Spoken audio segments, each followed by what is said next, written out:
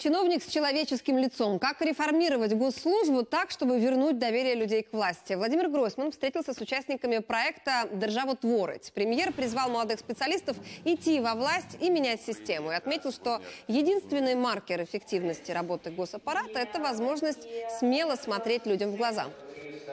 Наше завдання з вами змінити.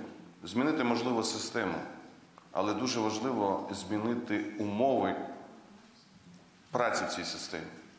І я вважаю, що ключовим значенням має те, щоб відкрити можливості приходу нової генерації, нових людей.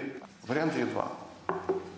Перше прийти у владу, прийти в політику і змінювати країну. Або опустити руки і змінити країну як місце проживання.